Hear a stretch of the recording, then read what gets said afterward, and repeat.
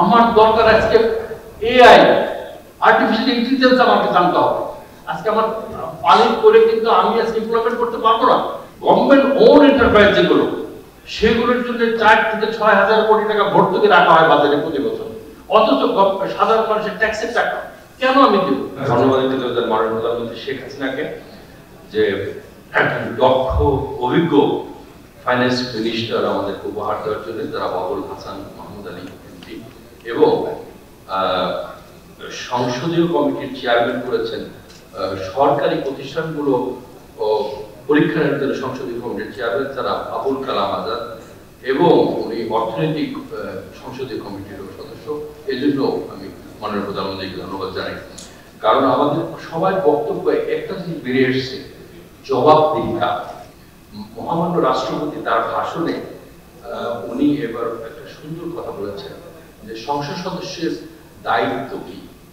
দায়িত্বটা আইন প্রণয়ন এবং প্রত্যেকটা প্রতিষ্ঠানের জবাবদিহিতা নিশ্চিত করা একটা সংসদের কাজ। আমি যেদিন সংসদে বক্তব্য রেখেছিলাম, মাননীয় অর্থমন্ত্রী মহোদয় উনি ছিলেন না।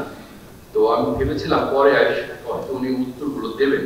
আমি সেই কথাগুলোই বলতে যাচ্ছি। মাননীয় অর্থমন্ত্রী, আমাদের বর্তমানে দেশের বেকারত্বের যুবক যারা চৌত্রিশ বছরের নিচে এই লোকগুলো কোনো স্কুলে যাচ্ছে না, কোনো কর্মসংস্থানের সাথে যুক্ত নাই আনএমপ্লয়মেন্ট তাদের সংখ্যা প্রায় দুই কোটি। তাদেরকে আমরা কোনো কাজে হবে এবং যেভাবে আমি কিন্তু নয় শতাংশের হারে ব্যাংক থেকে লোন নিয়ে আমি কিন্তু শিল্পে বিনিয়োগ করেছিলাম। এখন আমাকে চোদ্দ পার্সেন্ট করে দিচ্ছেন। এই পাঁচ পার্সেন্টের জন্য কিন্তু আমি খেলাপি হয়ে যাব। আমি কিন্তু এটা আমার ক্যালকুলেশনে ছিল না। তো এই দায়িত্বটা কে নিবে? এখন প্রশ্নটা হচ্ছে যে আমার খেলাপি ঋণের সংখ্যা সরকারি অনুযায়ী, বাংলাদেশ ব্যাংক এক লক্ষ চৌত্রিশ হাজার কোটি টাকা যদি আমি ভুল না করে থাকি, কিন্তু একজন অর্থনীতিক চিটাগাং ইউনিভার্সিটির মনুল হোসেন, উনি বলেছেন, এটার পরিমাণ দাঁড়াবে বোধহয় চার লক্ষ হাজার কোটি টাকা পাওয়া যায়, এরকম উনি বলেছেন। এখন আমি নিজে একটা ব্যাংকের চেয়ারম্যানের দায়িত্বে আছি। আমি জানি আমার নিজের ব্যাংকটি এই অনেক সময় এটা খেলাপ হিসেবে ডিক্লেয়ার করে না ড্রেসিং করে রাখে। এই অ্যাকাউন্টের টাকা ওই অ্যাকাউন্টে অন্য ব্যাংকের থেকে এনে এই ব্যাংকে দিয়ে এই করে করে করে ঋণ খেলাপি করছে না, এর পরিমাণ আরও বেড়ে যাবে। কেন বেড়ে যাবে? যদি আমি বাংলাদেশ ব্যাংকে কে স্বয়ং সম্পূর্ণ না করি, তাকে যদি আমি ক্ষমতা না করি, তার ক্ষমতাটা কেমন? আমি একটা এক্সাম্পল দিই। একজন ব্যবসায়ী উনি বারোশো কোটি টাকা একটা ব্রাঞ্চ থেকে নিয়ে গেছে। এবং বাংলাদেশ ব্যাংক তার ইনকোয়ারি করে প্রতিবেদন দাখিল করেছেন এবং বাংলাদেশ ব্যাংক সেটা জানে না। অথচ একটা সিঙ্গল বড়োয়ারের ক্ষেত্রে একটা সিলিং দেওয়া আছে। এর উপরে গেলে বাংলাদেশ ব্যাংকের কাছে অনুমতি নিতে হবে। অথচ বাংলাদেশ ব্যাংক তদন্ত করে বের করেছে তার কিন্তু ব্যবস্থা হয়নি। এক বাংলাদেশ ব্যাংকের বর্তমান গভর্নর এবং আমি ধন্যবাদ জানাই এখানে যারা বোর্ড অফ আছেন তাদেরকে বেশ কিছু পদক্ষেপ আপনারা নিয়েছেন খেলাপি কমিয়ে নিয়ে আসার জন্য।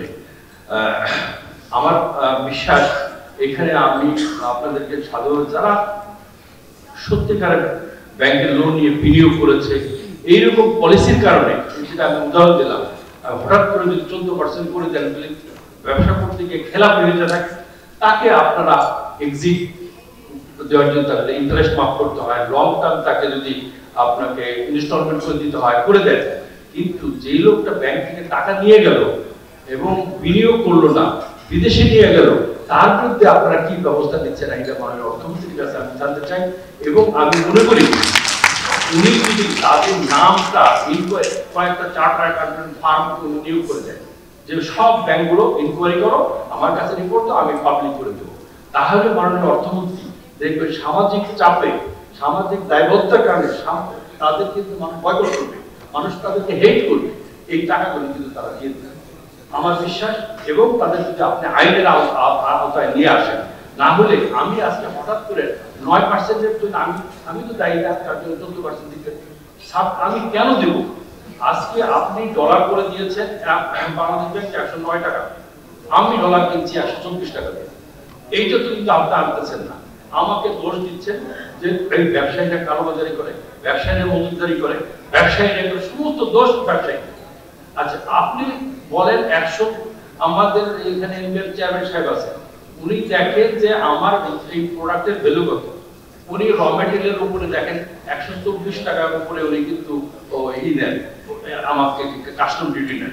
একশো চব্বিশ টাকার উপরে ভ্যাট নেন আপনি যখন আপনার মন্ত্রণালয় মানে অন্য মন্ত্রণালয় যখন ক্যালকুলেশন করে অফ দ্য কস্ট কত তখন সেক্ষেত্রে একশো দশ টাকা করে ক্যালকুলেশন করে। অথচ আমি তো একশো চব্বিশ টাকা দিচ্ছি তারপরে ভ্যাট দিচ্ছি তারপরে কাস্টম ডিউটি দিচ্ছি তারপরে আমার ক্যারিং কস্ট আছে এস্টাবলিশমেন্ট কস্ট আছে, সবকিছু মিলে আমি কিন্তু শাস্ত্রীয় দোষের দোষিত হচ্ছি। ব্যবসায়ীরা খারাপ, ওরা দ্রব্যমূল্যের দাম বাড়ায় ওরা এইগুলি সব করেছে কালোবাজারি করে। আপনি কিন্তু একটা সুন্দর কথা বলেছেন off the record before the meeting আমি আর মাহব ভাই ছিলাম। ওই একটা পাবলিকলি বলার জন্য না, আমি বলব, আমি এখানে আপনার পাশে বসে আছি। আমি খুব ফিল করছিলাম অনুপস্থিতি ফিল করছিলাম বুঝছে আমি খুব গভীর শ্রদ্ধা সাথে তার আত্মার মাত্রার সংগ্রহ করি। অনেক বছর, অনেকটা বাজেট তার কাছে তার একটা গুণ আমার চল্লিশ বছর ব্যবসায়ী অভিজ্ঞতা। তার একটা গুণ ছিল হি ওয়াজ গুড লিসেনার এবং অনেক সময় আমরা বাসায় ডেকে নিতে শুক্রবারে এই, তোমরা যে দাবিটা করলা, এটা করে সরকারের কতটুকু ক্ষতি হবে আর এমপ্লয়মেন্ট কতটুকু বাড়বে? দ্যাট ওয়াজ হিজ অ্যাটিটিউড এই উনি সবসময় এমপ্লয়মেন্ট বাড়ার ব্যাপারে উনি সবসময় কি করতেন? রেভিনিউ কতটুকু ক্ষতি হলো আর আমার এমপ্লয়মেন্ট বাড়লো কত? এইটা তার একটা গুড কোয়ালিটি ছিল। তো আমার বিশ্বাস মাহমুদ সাহেব ওনার উনি যেখানে রেখে গেছেন অর্থনীতিকে, তার থেকে এগিয়ে নিয়ে যাবেন। কিন্তু সেই, এটা করতে হলে আপনাকে কিন্তু এই গুড গভর্নেন্সটা ইনশিওর করতে হবে। বাংলাদেশ ব্যাংককে ক্ষমতায়ন করতে হবে। আজকে আমি সোনালী ব্যাংকের জন্য ভর্তুকি দিব কেন? সোনালী ব্যাংক, রূপালী ব্যাংক, আজকে সরকারি যে কটা ব্যাংক, তার খেলাপি রেট পঁচিশের উপরে।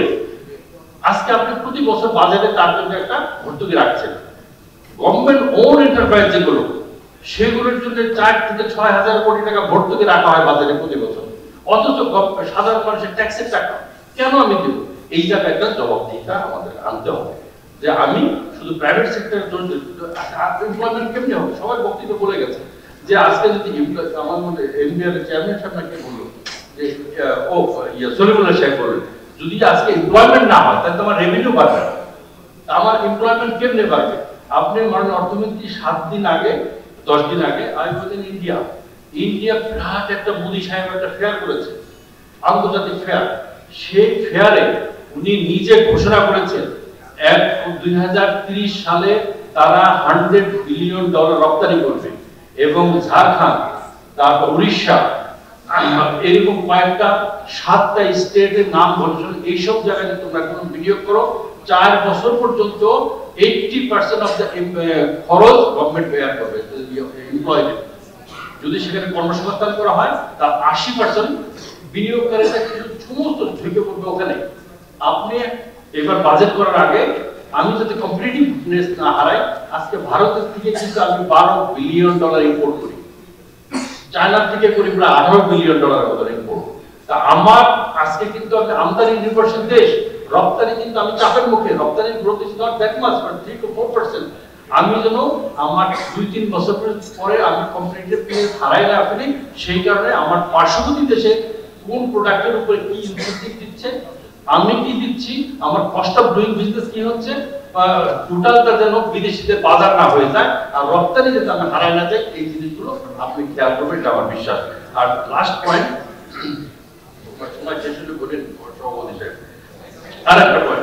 আমার দেশে বিদেশি নাগরিক এক লক্ষ প্রায় পঁচিশ হাজার বিদেশি লোক কাজ করে। আপনি এবার বাজেটে প্রত্যেক বছরই প্রত্যেকটা বাজেট দেখেন আপনি মানব সম্পদ উন্নয়নের জন্য আপনি বিরাট একটা বাজেট দিচ্ছেন। আপনি বিভিন্ন প্রজেক্টে বিভিন্ন মন্ত্রণালয়কে বাজেট দিচ্ছেন। তাহলে আমার এক লক্ষ পঁচিশ হাজার টাকা কেউ কেউ বলে চার বিলিয়ন ডলার কেউ বলে ছয় বিলিয়ন ডলার চলে যাচ্ছে তাদের বিষয়ে they are not that much technical লোক। সাধারণ লোক। ইউনিভার্সিটিতে আপনি ভিড় দিচ্ছেন। আমাদের ইউনিভার্সিটিগুলিতে এখনও যদি পালি নামে একটা ডিপার্টমেন্ট থাকে, আজ থেকে একশো বছর আগে শুরু হয়েছিল পালির ডিপার্টমেন্ট আমার কি পালির ডিপার্টমেন্টের এখন দরকার আছে? আমার আছে উর্দু ডিপার্টমেন্ট আজকে দরকার আছে। সাংস্কৃতিক ডিপার্টমেন্টের জন্য একটা দরকার আছে। অথচ সরকারের শত শত কোটি টাকা এইসব জায়গায় যাচ্ছে। আমার দরকার আজকে এআই আর্টিফিশিয়াল ইন্টেলিজেন্স আমাকে জানতে হবে। আজকে আমার পালিত করে কিন্তু আমি আজকে ইমপ্লয়মেন্ট করতে পারব না। এই জায়গাগুলো আপনি শিক্ষা খাতে বরাদ্দ দেন, তাদেরকে আপনি বলবেন। মানব সম্পদ উন্নয়নের যখন বরাদ্দ দেন, তাদেরকে আপনি বলবেন তুমি মানব সম্পদ উন্নয়ন করতে হলে বিদেশিরা এখানে করে আমার দেশে টাকা নিয়ে যাচ্ছে। অথচ আমার দেশে দুই কোটি যুবক বেকার, তাকে কর্মসংস্থান করতে পারছে না। আপনার একটা প্রজেক্ট আপনার পরিকল্পনা কমিশনে যখন যান প্রজেক্ট প্রজেক্ট পাশ হয়ে যাচ্ছে। অথচ একটা প্রজেক্ট তিন বছরের প্রজেক্ট থেকে সাত বছরে চলে যাচ্ছে। আর সাত বছর থেকে ডাবল হয়ে যাচ্ছে ওই project cost and we are paying tax for that তো সেই সব কারণে পাশাপাশি মাননীয় এনবিআর চেয়ারম্যানের সাথে কয়েকদিন আমাদের একটা মিটিং হয়েছিল। সেই মিটিং এ কিন্তু উনি বলেছেন, এই যে তথ্যগুলো কিন্তু এখানে উনি একটা জিনিস সাজেশন দিয়েছেন যে আমার যদি রেভিনিউ বাড়াতে হয়, আমার ট্যাক্স পেয়ার সংখ্যা এখানে আমার রাজনৈতিক সাপোর্টটাও লাগবে। সেই জায়গায় যদি আপনি রাজনৈতিক সাপোর্ট না লাগে, তাহলে বহু লোক কিন্তু বাইরে চলে যায়, তাদেরকে এনবিআর পক্ষে তাদের কাছে ট্যাক্স করা আহরণ করা সম্ভব না। সেই জন্য good governance is most important যদি আমাকে কর্মসংস্থান করাতে হয় রাজস্ব করাতে হয়, এবং জাতির জন্য বঙ্গবন্ধু স্বপ্ন যদি বাস্তব সোনার বাংলা করতে হয়, তাহলে গুড গভর্নেন্সের বিকল্প নাই। আমি লাস্ট একটা উদাহরণ দিয়ে আমার বক্তব্য শেষ করব, সেটা হচ্ছে মাননীয় মোহিত সাহেব দুঃখ করে বলেছিলেন যে, দেখো, আমি একটু বিশিষ্ট অর্থনীতিবিদ বাংলাদেশের যার নাম এক নামে চিনে এই আবরুবা রাকাতকে দিলাম, এই জনতা ব্যাংকের চেয়ারম্যান করে ও ভালো ব্যাংক তারা শেষ করে দিল। এটা পাবলিকলি তার অসাহায্যের কথা উনি বলেছেন। আমার বিশ্বাস, আমাদের যে ভুলগুলো হয়েছে, যে ভুলের কারণে আজকে নয় থেকে চোদ্দ পার্সেন্ট ইন্টারেস্ট দিচ্ছি, আমি একশো চব্বিশ টাকা, একশো দশ টাকা ডলার একশো চব্বিশ টাকা দিচ্ছি, সেই ভুল থেকে আমরা শিক্ষা নেব এবং আমরা সুখী, সমৃদ্ধিশীল বাংলাদেশ গড়ে তুলবো, জাতির জন্য বঙ্গবন্ধু স্বপ্ন বাস্তবায়ন করব, এটি আমার প্রতিচারী সবাইকে ধন্যবাদ জানাব। ধন্যবাদ।